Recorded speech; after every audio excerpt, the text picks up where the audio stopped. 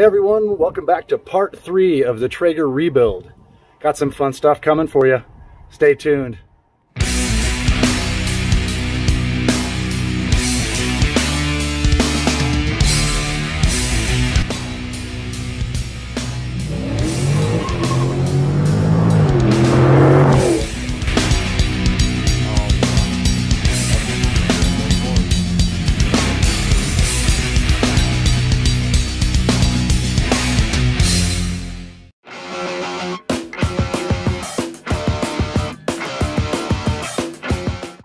Okay, so first things first, you guys can see I was able to get the black painted on there.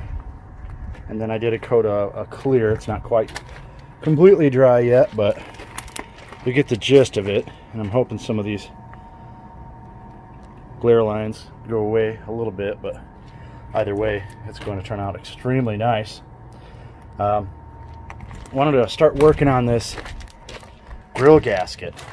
This is the stuff I showed you that you could buy on uh, Amazon, the little smoker gasket. I'm going to go ahead and start lining it around here. And then I'm going to have to adjust these, these here, to be able to make the lid so it'll shut on that thickness. So here we go. All right, I'm back in the garage. It's getting a little too hot out there.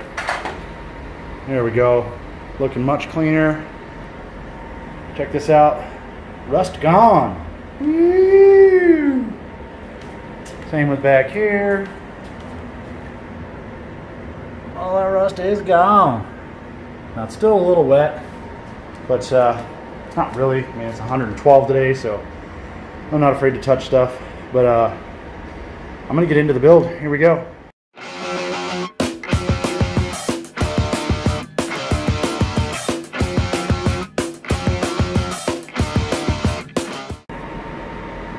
So my original concern on this seal came true.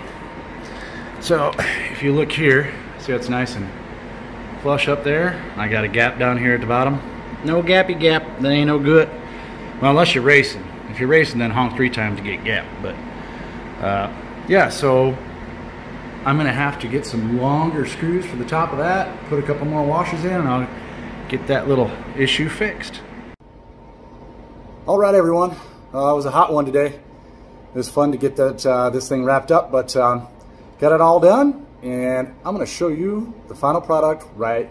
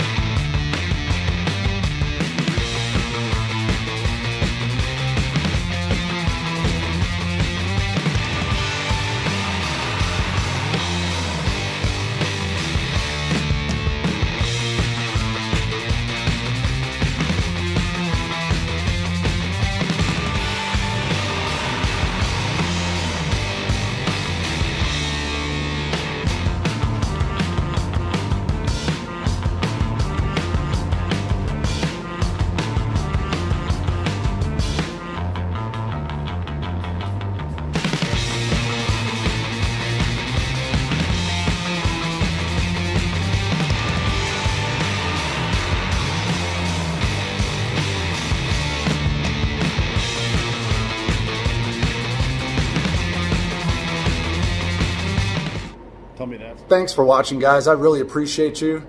Hit that subscribe button. Tell your buddies about it. This thing's uh, definitely a one of a kind now. And if you uh, get a hankering to do something different, try it yourself. But I really appreciate you taking the time out of your day to watch my videos. Thank you. We'll see you next time.